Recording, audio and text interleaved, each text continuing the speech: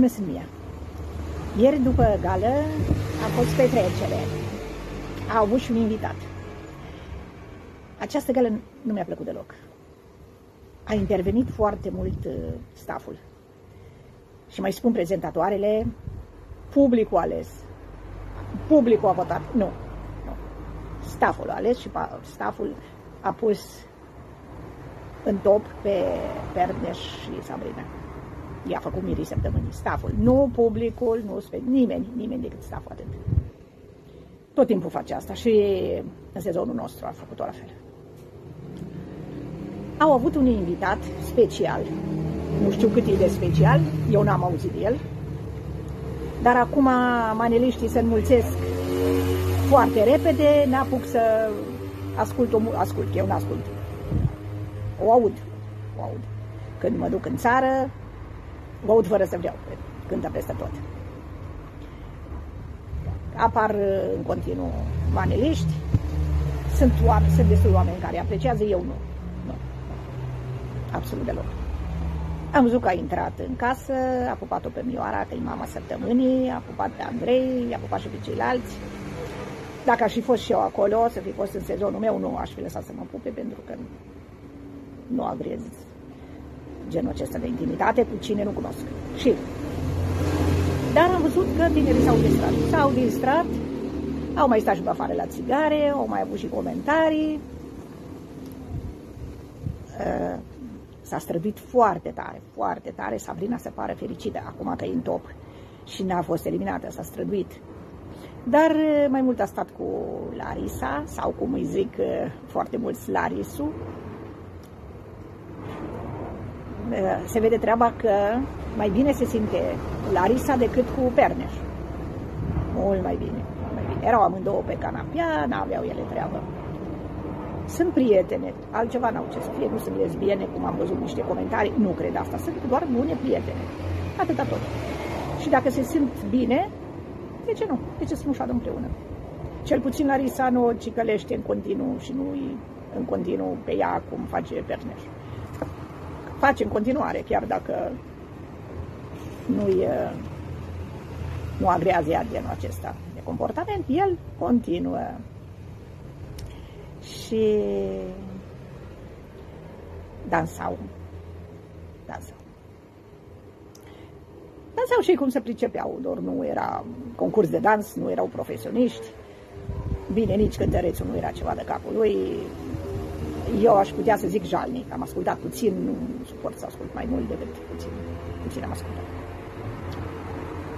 Că nu agrez genul acesta de muzică, nici vocea nu mi-a plăcut. Seamnă cu toți ceilalți. Aceeași subiect, aceeași timbru vocal, aceeași... Nu e pentru mine.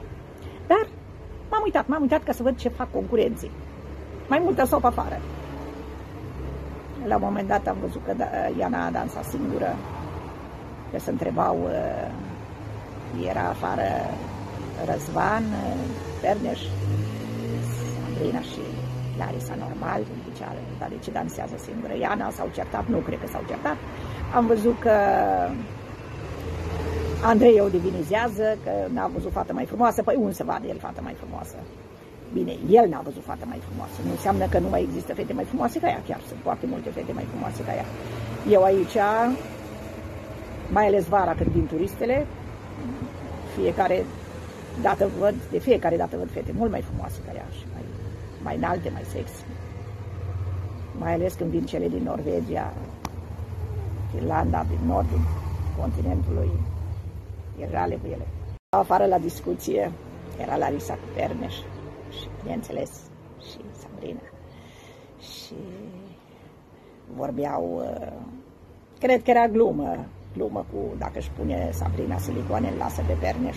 Dar nu e nevoie să-și pună silicoane, poți să-l lași așa, așa. Oricum asta o să se întâmple, pentru că ea văd că iubește foarte mult alcoolul.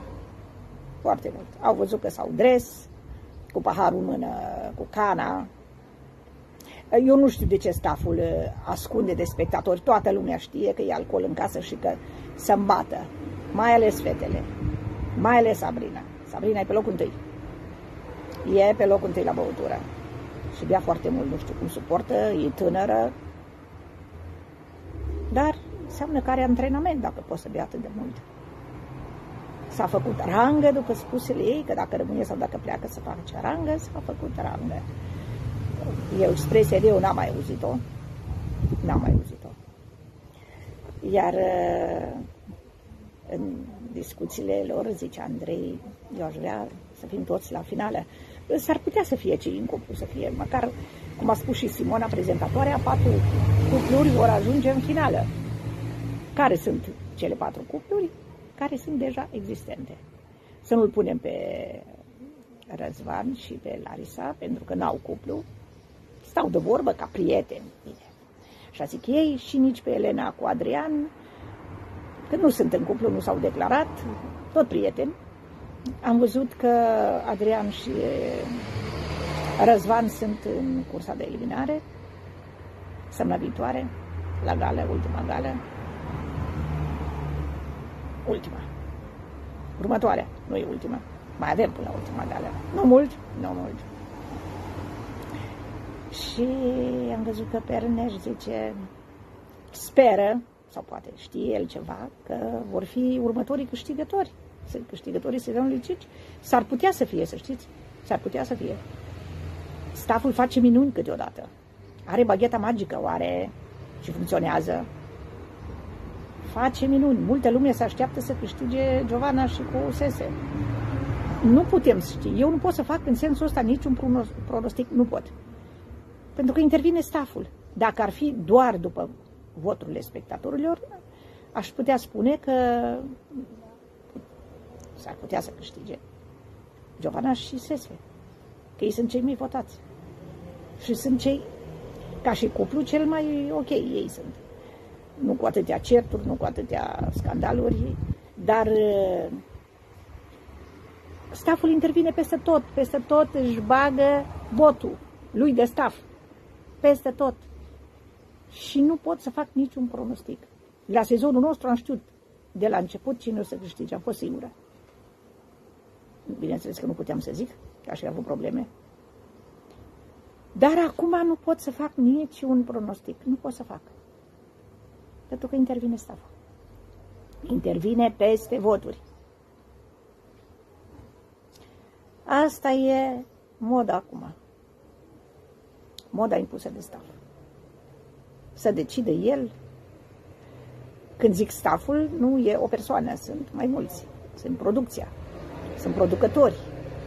Dacă sunt tot aceiași din sezonul 2, cunosc. Da, sigur că îi cunosc. Normal că îi cunosc. Am stat șase luni acolo.